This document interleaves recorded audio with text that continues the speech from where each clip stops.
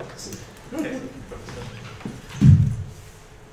Uh, yeah, I'm just curious how this novel was received in Norway. Uh, do you have any information on reception, whether many reviews? Or, Yes, I have read a couple of and did they focus also on the translation, or was it, as usually it is with translation critique, on the content? and Uh? One, uh, uh, I had a look on a couple of reviews, and uh, uh, well, they were generally positive, but uh, the focus was, of course, on the topic, on homosexuality and on well the time in Poland when well uh, uh, uh, the open homosexuality wasn't accepted. So it was a kind of well focus on those political aspects on this uh, and on what is uh, well uh, called gender perspective when the gender is uh, not the linguistic gender. Uh, so it was rather in this sense. And of course it was, mm, well, the author was prized for, mm, well, very lively narra- narration and bizarre humor and so on. But uh, uh, the translation wasn't focus. So I don't know, uh, I think that while the recensions were rather social culturally oriented and uh, but what's of course uh, uh, uh, if the uh, reviewers have read only the Norwegian version, they of course are not aware of those uh, well mm, artistic aspects that disappeared in translation.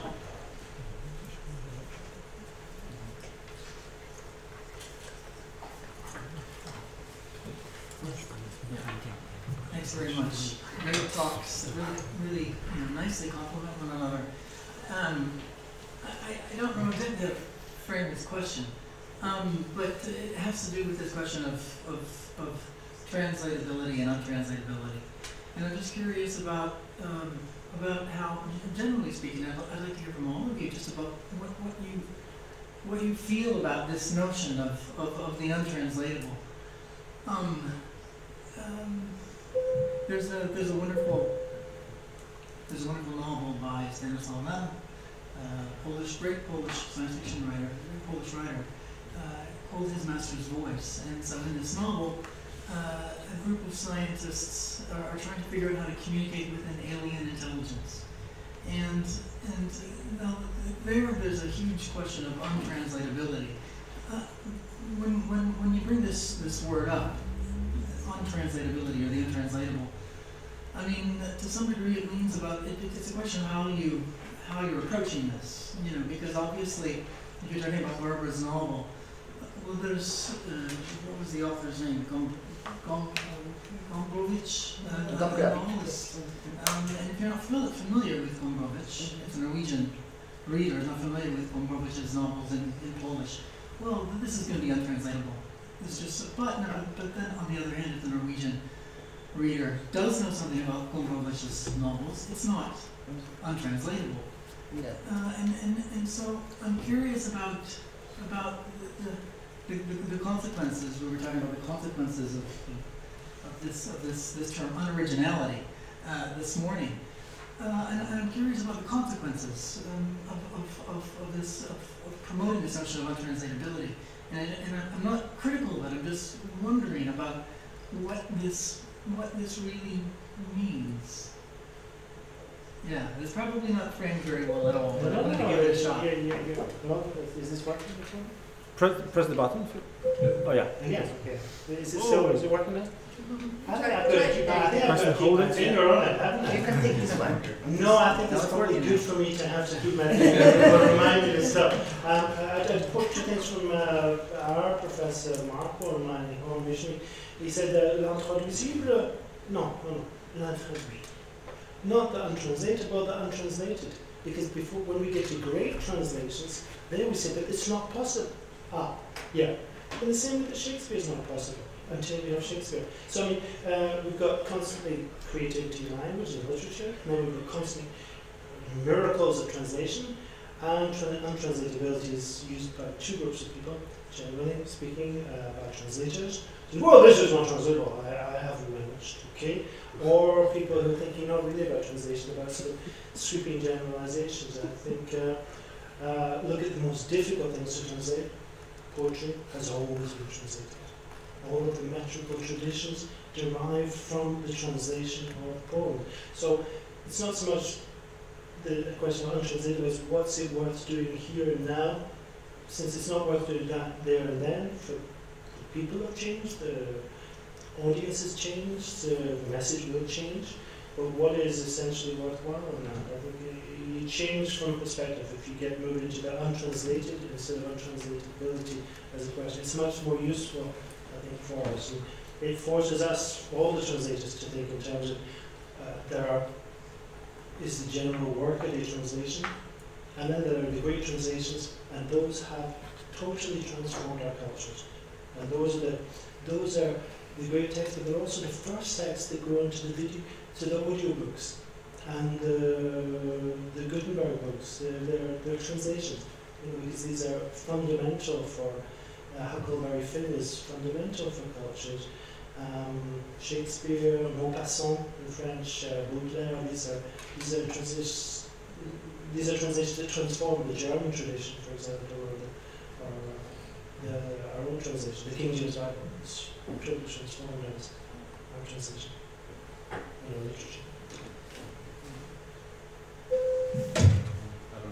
operate this. Maybe, maybe, maybe the other one would work better. Maybe the other one would work better. The one on your left. Co- okay. He can do it. He will send it to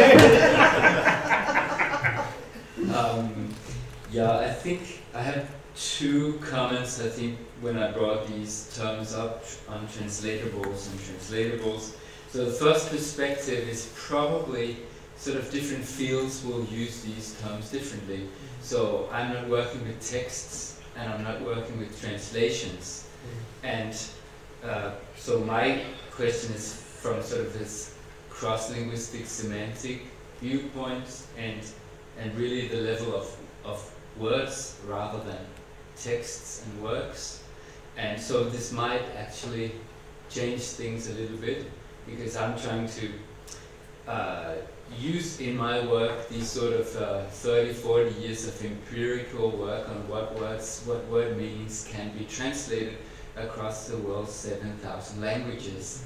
This is the kind of, of, of, empirical evidence that I'm, I'm basing my, uh, this analysis on. And from that evidence, I think it's fairly uh, clear to me that there are translatable concepts and there are uh, untranslatable in, in one sense. But this is my second comment, and I think Wierzbicka has uh, authored a paper that is really brilliant about exactly this issue. So she said that in principle all meanings can be rendered. Uh, it just takes a lot of time. Uh, so when I say untranslatables, does not mean that they cannot be translated in my own work. For instance, I will say sort humor is an untranslatable in my system because it's not a part of the translatables. It's, it's highly culturally specific. It's thick and loaded with cultural meaning. Yet I can render the meaning, for instance, via NSM.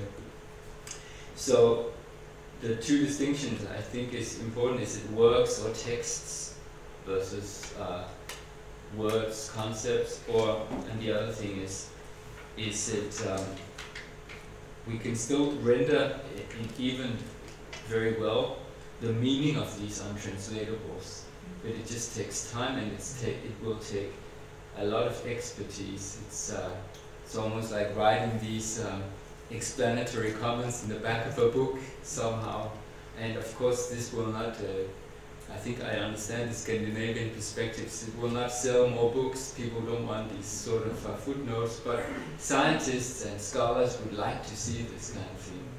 So these were, think, from my perspective, the two things that could. Uh, that I think it's important to have something like translatable and untranslatable for semantic reasons, but not sort of to close it off and say it's incommensurable or something like that. I would not go this far.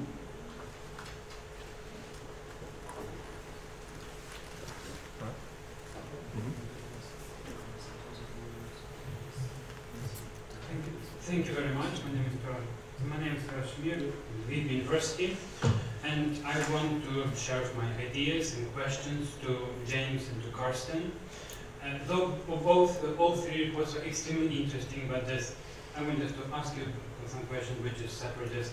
So first of all, I'm just thinking, I want to share about the idea of heart, because I always was thinking that heart is so specific for Ukrainian culture, and here in Bosnia it's not so much, and it's great. You know, that, that, thank you very much for this, answering this my question, which was, I was always pondering why it was so, just, I cannot say exactly. But this part, which is very important, at least from the Cossack period, so it's early modern period, this heart place, this part, that mind can be mistaken. Heart is never mistaken. So it means that heart performs this uh, functions of the source of evaluation, right? And then it goes to the most known Ukrainian philosopher of the 18th century, Horace Feather. So in many aspects, uh, Ukrainian culture is cordocentric, right? We might expect that Western uh, European culture is, uh, is ba based on logos, right? It's reason, right? In Ukrainian culture, it's, it's absolutely different, right? We, we, we're just more emotional, but at the same time, heart performs is not only a set of emotion. Heart is already a human being. It acts, it set behaviors, and you may uh, ask to just, uh, you may invite it just in your just everyday speech dealing just instead of, for example, just this vocative, just not, only just speaking as you darling my heart, right? But for example, you guy come here, you heart come here. Just having this much wider perception of using. I have three questions. First is uh, I adored your idea of speech community, but in your abstract you use the idea of value. Do you correspond to these two notions, value and speech community, and especially value and text? uh, then would you regard heart as a religious concept? Right? Again, I'm returning to the Ukrainian context. I'm not sure why heart is so much important for the Ukrainian culture. Right? It may happen that it came from the Bible, right? But I, I, am just not ready to answer. I, I should take this, the oldest period of Ukrainian language to check what was the heart at that time. And then just the third question is, uh, suppose the heart is important for European civilization. Did you trace any aspects of non-European civilizations? I have one experience when I met one lady from Uzbekistan who is a Muslim who told that whatever we speak about heart, they speak about liver in their culture. Mm-hmm. I'm just not sure. Is it really so? I never heard any explanation, so it would be very much interesting whether you heard. Uh, though it has nothing to do with humor, and well, I still also have a couple of questions to Carsten. Um, um, I, I have understand that you don't work so much with text because just as a translation analyst, I'm just more interested in text. But I'm just in curious about, uh, do you think that humor is time dependent? What is funny now won't be funny in 50 years, or we don't understand what was funny some 200 years ago, right? Especially when we speak about folk jokes.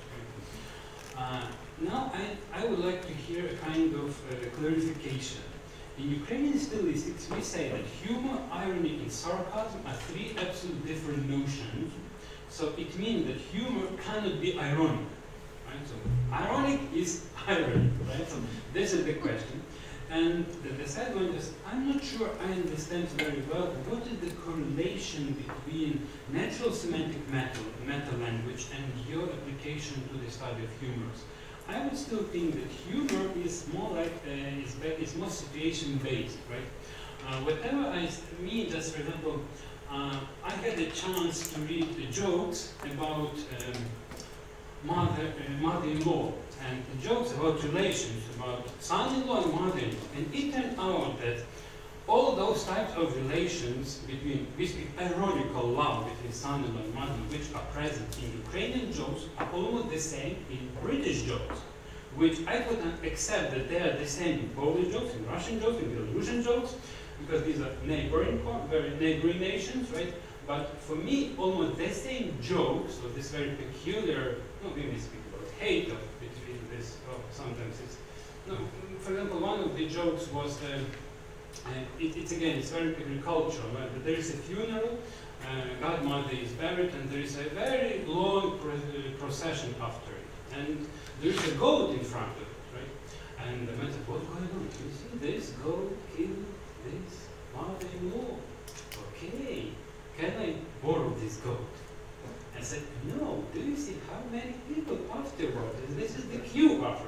So this is a very rude, brutal joke, which is absolutely the same in two cultures. And what kind of having just, is it universal or is it just, that's again we are returning to the question, just is it situation based or here we, we, we will speak about lexicon as a sensitive linguistic culture. Thank you. again. Thank you so much. Um, let me see where to start. Uh, first up, this question of, of uh, humor as a, as, as a concept.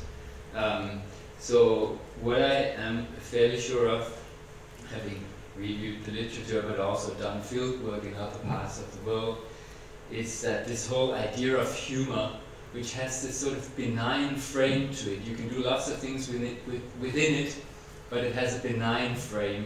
You can even make jokes about death and handicap, but if it's classified as humor, at the end it's sort of benign. This is something you don't see in the Pacific and the Pacific trickery culture, for instance. So there's not this sharp line between was it fun for you as well as it was for me. So, so first of all, I don't believe in the universality of humor, but I will. I believe in the near universality of the concept of laughing. So I think we should start from that basically and try to find out how laughing is construed. And then the next question, of course, is um, I'm sure that lots of things happen in various situations. Uh, so uh, it is really very complex to study, but what we can do is we can try to start to follow a, a basic idea in, in ethnopragmatics namely that, that words can be cultural catalogs for interaction types. Uh, so this goes for speech adverbs, but I would claim it also goes for things like uh, laughter interjections. So with, with, if we analyze all these interjections that a particular linguistic community has created in order to be able to speak about what is going on in all these situations, then we can start from there so the evidence is not taken from situations, but, but from the situation as it has been meta-discursively construed by the linguistic community uh, as, as our kind of evidence. So this is not to say that we shouldn't do situation-based analysis. I think we should, and, and lots of people working in conversation, ana conversation analysis would exactly do that. So a combination of, of my ethnopragmatics with a conversation analysis will take care of both situations where new kinds of laughing practices might emerge, plus the sort of more culturally constituted. We have words for specific practices that we had the need to invent in order to be able to make sense and speak of what is going on. So I think it, the situational is also important, but I think that words, keywords, and cultural domains can help us to try to also do this analysis. And then um, I think there's another thing, namely that not only are there interaction types that are sort of uh, organized in this way, I would also use this term discursive affordance. So sort humor has a specific discursive affordance. If you have a sort humor as a, as a part of your life, it allows you to do different things than if you didn't. So that is another sort of aspect of how the keywords link to. They don't, they reflect an interaction, a culturally based interaction uh, world, but they also allow it to happen. So both a reflection and uh, an affordance. So um, yeah. I think it's your My turn, turn. my Yeah. turn, my turn. Okay, uh, those were, that was a big barrage of questions. Okay, uh, there's a couple I haven't understood, so I'm not going to reply to you on value because I didn't get that bit. I've got some other things, so I'll reply to what we did, and value we'll do together. Okay. We also had a chance to talk about just before the paper the, this cordocentric Ukrainian culture. Um, I really don't want to. I would like to to contradict you. I would like to sort of start by, you know, not allowing myself to be drawn into this Ukrainian soul, Ukrainian heart. It's true that when I listen to these silly programs where the Ukrainians do talent shows, I can't stop crying when they sing the Ukrainian songs. And when uh, Adam and me were invited to Grozno and we had the Rus band, it just makes me cry. And what is there there? I think there's a culture of the heart. I mean, it really is something that's deeply, we talk about music being the universal language, but that's, you know, it's, it's working differently with different methods, breathing, beats, etc. Um, there seems to be something uh, deeply responsive in the oral culture that you've been cultivating. And I really think it's essential that as far as, if it's true that there's a cordocentric culture, it's a cultivated culture. And that will probably work with, you don't have heart. That there are people that don't have heart and that they are not real Ukrainians or not fully human. That there's this culture, and I would imagine that the Cossacks are really working with that. For the man with heart, he has heart, and he has to teach his son to have heart. And with the women that are singing and they're singing together, often they're harmony, they're singing together, there's harmonies going on there. Um, they seem to be very deeply involved in breathing and moving and responding to the audience. The audience really is electric there. So there's something probably in the Ukrainian culture, Cordo-centric culture that we're really perhaps losing. For the Bible, um, the Bible is very complex. I simplified it today, but uh, it's very complex influence because there a lot of bad hearts and there's sometimes no hearts in the Bible and God gives the. So that's complicated. I think so definitely, definitely an enormous biblical influence, not simply European because the Bible you know, translated so much, but that will go into the Quran as well. So that when I speak to Kabyle people from the north of Africa, they're not Arab, Arabic speakers, but they will talk about shepherds that know that they have heart and the reverb is a reverberation response that they can feel each other with that. Um, um, to the question of the, the liver, uh, Godinar's got a paper on this on one language uh, using the liver instead of the heart. Probably what we want to do is come back to a conceptual definition, say a capacity of thinking, or a capacity of feeling, which is the human faculty. And where is it? Well, is it in the heart? Some people say it's in the soul, and the soul is here, sometimes, sometimes it's here. If you talk about French, uh, it's in the stomach, and sometimes we have a gut reaction, so there, there's some, the actual physical mapping is secondary. That one's probably the one that's the least, least universal. Uh, in English, can we have, can we think and feel with the liver? Or we could be lion heart, or lily livered. So there are remains of that, which make no sense to us on a semantic level, but there are expressions that still exist. So uh, we have a big discussion, I think, to continue with the value in the speech communities, but uh, I'd really like to know, know, a lot more about how the Ukrainians, differently from the Russians and differently from the Polish, are experiencing that subset. But that's for dinner tomorrow. I add just a few uh, sentences, sorry on that. Uh, so I think it's, I actually agree fully with you, so I shouldn't say more, but for instance, in indigenous Australian communities, something like tjuni, the stomach seems to be uh, very important. In the Pacific, the throat is also very important. And um, the head can be important as well, and so it seems to be lots of body parts that can be used for it but maybe it's not so interesting where it's really what they mean. For, for what was very interesting is that I think I'm constantly in this kind of context ah, there's a culture where they think that this and they, they indicate this, and we had this even in, in, in, in we had this in, uh, in, Warsaw three weeks ago where people spoke about nefesh in the throat. Uh, but in my videos, people said, well, what do you mean? The, the heart here, the physical thing, or the other one? They, they, they, they know that this is a metaphoric uh, it's useful to place it, but we usually set up places in order to do something with the place. The, the spaces, the places are provisional, uh, provisional to the, the, to the narrative, I think. And just to, to, to respond to you there, uh, yes, I did this paper, not this paper, it was a much different paper, um, much more Czech, it, and I did it in Australia, and one of the nice reactions I got was, hmm, that's a very good resume of European conception. you know, I go, why didn't you look at the uh, our languages? I don't because I don't speak it. I refuse to allow myself to speak third hand about language that I don't master. They, they certainly felt that I was a European and I was a Eurocentric with my conception of art. Yeah. Okay. Does it mean? No. It's on. It stays at that. Okay.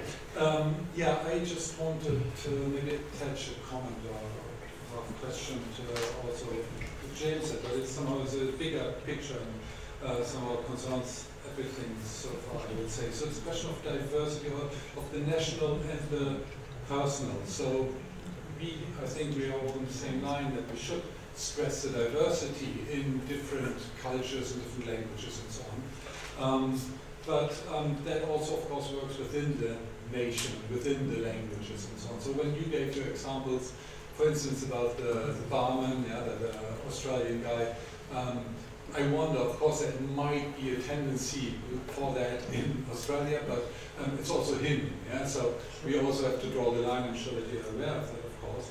Um, what is now on the national level, and there are probably some elements that we could attach to that, but uh, we will always have to look at the individual personal culture as well.